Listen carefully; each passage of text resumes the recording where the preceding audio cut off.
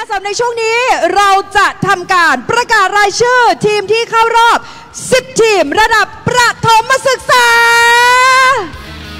ยังถ้าไง เกิดเราประกาศชื่อทีมไหนขึ้นมาบนเวทีได้เลยนะครับ ได้แก่ทีม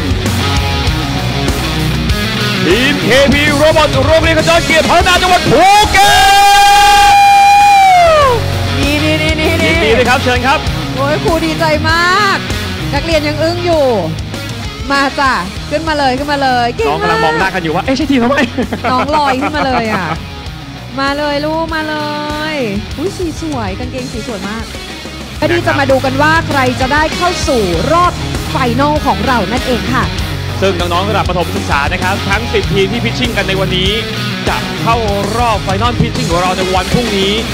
5 ทีมเท่านั้นครับ วันนี้ก็อยากให้ทุกคนนะฮะร่วมให้กำลังใจน้องๆทั้ง 10 ทีมด้วยในระหว่างทำการ present หรือว่า pitching กับเราบนเวทีวันนี้นี่ค่ะอะ ต่อไปเดี๋ยวเราถ่ายรูปกันนะคะ เดี๋ยวพี่แพนนับ 1 2 3 หนูหนูพูดเย่นะ แล้วก็ยกมือกันนะคะ สนุกสนานเฮฮาร่าเริง1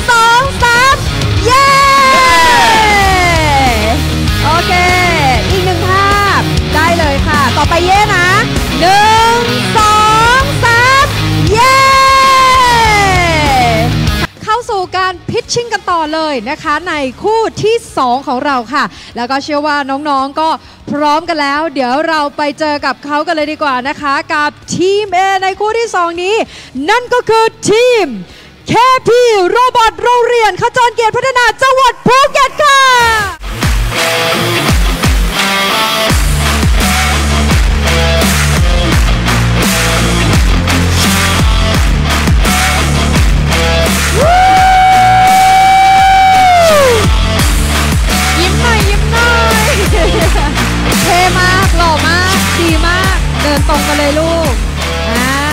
สักหนึ่ง pose สิเท่มา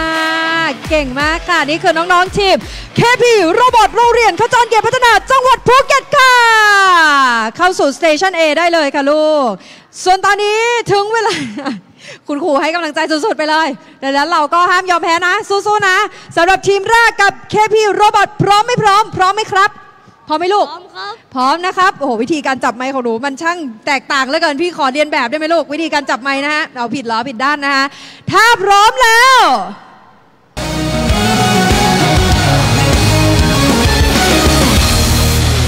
เริ่มค่ะ ไป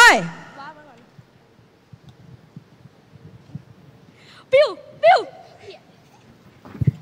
Did you know what happened in 2018? You probably wouldn't, because there are many good things and bad things happening in the same year. And one of that is the Parkland High School shooting, the mass deadliest high school shooting in American history.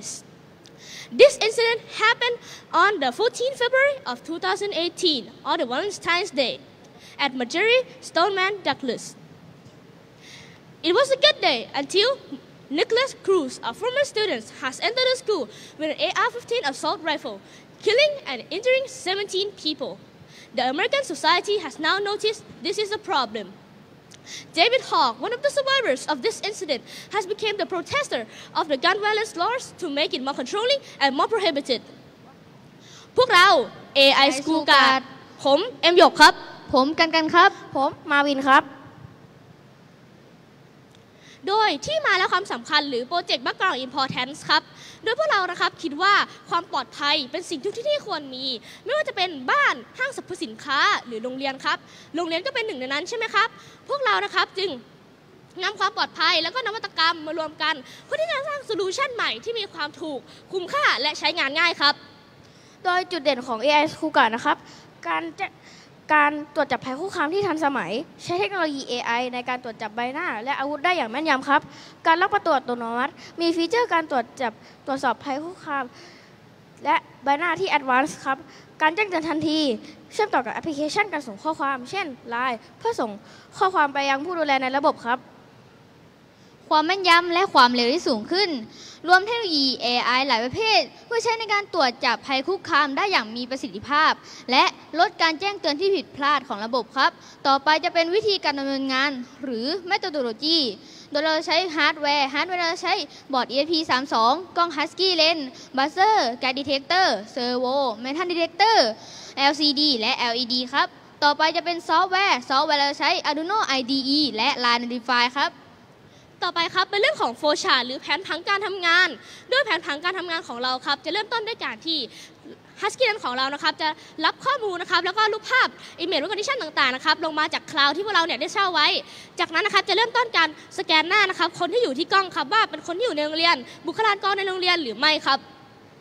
ต่อไปเป็นเรื่องของ BMC หรือ Business Model Canvas โดย Business Model Canvas ของพวกเรามีหลายหัวข้อ เช่น Key Partnership Key Activities แต่เราได้แตกออกมาหัวข้อเป็น 4 หัวข้อ นั่นคือ how what who money how คือเราต้องทำอย่างไรเพื่อที่จะ accomplish โปรเจกต์นี้ what เราต้องทำยังไงเพื่อที่จะ accomplish โปรเจกต์นี้ who เราต้องเป็น partnership หรือเป็นเพื่อนกับใคร เพื่อที่จะทำโปรเจกต์นี้ แล้วก็อีกอันหนึงก็คือ ตัว money เราต้องมีเงินหรือเสียเงินเท่าไหร่ครับ ต่อไปเรื่องของงบประมาณนะครับมีหลายอันรวมกันไปแล้ว 3,211 บาทครับ ต่อไปเป็นเรื่องของ Future Plans ครับ โดยเรามีระบบการจัดการจราจรอัจฉริยะ หรือ Smart Traffic ครับ แล้วก็มีระบบแจ้งลาผ่านแอปพลิเคชัน ที่เราเนี่ยมีโปรโตไทป์ครับ แล้วก็การเชื่อมต่อระบบกับกล้อง CCTV เพื่อควบคุมความควบคุมนะครับของตัว AI School Guard ต่อไปนะครับเป็น 3D Explanation ครับ โดยผู้ปกครองนะครับได้รับ Notify นะครับจากแอปของเราหรือ Line Notify ผู้ปกครองนะครับ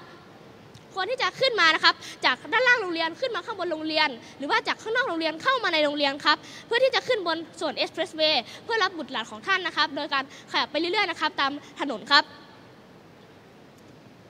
ต่อไปครับ อันนี้คือ ต่อไปจะมีการโปรโตไทป์ครับขออนุญาตเริ่มต้นการสาธิตครับ โด ยตัวนี้นะครับคือขจรเกียรติพัฒนาสกูโดย AI School Guard ครับ โดยจะมีทั้งหมด3 section section แรกนะครับก็คือตัว Expressway หรือจุดรับส่งนักเรียน สามารถเปิดไม้กั้นโดยการใช้บัตร RFID card จากนั้นเลื่อนไปที่ตัวที่กั้นครับ จากนั้นมันจะทำการเปิด สามารถให้รถสามารถผ่านได้ครับ ต่อไปนี่คือความปลอดภัยชั้นที่ 1 ความปลอดภัยชั้นที่ 2 เราจะใช้ inductive proximity หรือตัวตรวจจับโลหะครับ โดยการเอาตัวตรวจสอบโลหะนะครับ มาอยู่ใกล้โลหะนะครับ มันจะมีการขึ้นไฟครับ เมื่อเอา inductive proximity นะครับ มาตรวจกับโลหะ เช่น แบบนี้ครับ จะมีไฟขึ้นตรงนี้ครับทำให้เห็นว่าตอนนี้มีโลหะอยู่ใกล้อันนี้ครับระยะ 8มิลลิเมตร ต่อไปครับเรื่องของ classroom ใน classroom นะครับจะต้องใช้ husky lens นะครับในการเข้า โดย husky lens ตัวนี้นะครับจะสามารถเข้าไปได้นะครับ โดยการที่เราเนี่ยมีใบหน้าที่ถูกต้องนะครับ หรืออยู่ในระบบครับ ค่ะ ขออนุญาตเรียนเชิญท่านคณะกรรมการค่ะ งั้นเอ่อเมื่อกี้เห็นหน้าคอร์สของที่เราคิดอะครับ แล้วเราบอกว่าเรามี Cloud Server ที่เช่าไว้ แต่ไม่เห็นมีคอร์สของ Cloud Server อยู่ในนี้ อันนี้มันมันมันถูกนับเป็นคอร์สไหมครับ หรือว่าไม่นับ อันนี้มันเป็นอยู่ใน future plans ครับ คือมันจะเป็น future plans ว่าเราเนี่ยจะซื้อ web server มาขายซอฟต์แวร์ของเราครับ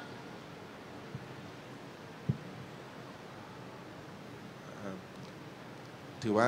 ระบบดีมาก ๆ นะครับ แต่สนใจที่ตรวจจับโลหะเมื่อกี้ครับ ระยะเท่าไหร่นะครับ 8มิลลิเมตรครับ ถ้ามีการพกอาวุธเข้ามา 8มิลลิเมตรเราจะเอาเซ็นเซอร์ไปไว้ตรงไหนครับ คือตัวนี้เนี่ยมันเป็นตัวทดลองอย่างที่พูดไว้นะครับ inductive proximity เนี่ยมันเป็นตัวทดลองที่อยู่ใน Arduino ซึ่งเอาจริงแล้วเนี่ยถ้าสมมุติเราไปใส่อันที่ใหญ่ขึ้น เราต้องมีโมเดลที่ใหญ่ขึ้นครับ เพราะว่าอันนี้เนี่ย8มิลลิเมตรเนี่ยมันไม่สามารถใช้เหมือนของสสนามบินที่เขาทำอย่างนี้กัน แล้วก็ T-post ครับ อ๋อโอเคขอบคุณครับ เรียนเชิญท่านถัดไปค่ะ ถ้าถ้าอย่างนั้นถ้าอยากใช้แบบของสนามบินเอามาต่อกับ Arduino นี่ได้ไหมครับ ถ้าอยากใช้ของสนามบินเนี่ยมันสามารถทำเหมือน Arduino ได้เช่นกัน แต่ว่าเราเนี่ยต้องการเหมือนกับตัว extension ของ Arduino ที่ใหญ่ขึ้นเช่นตามเช่นเช่นเดียวกันครับ เพราะว่าแบบนี้เนี่ยถ้าใช้ inductive proximity อันเล็กเท่านี้ไม่สามารถที่จะทำแบบสนามบินได้อย่างแน่นอนครับ ค่ะ เรียบร้อยนะคะ โอเคค่ะ ขอเสียงประมือให้กับน้อง ๆ ด้วยนะคะ เก่งมาก ๆ น้องทีม KP Robot นะคะ สวัสดีครับ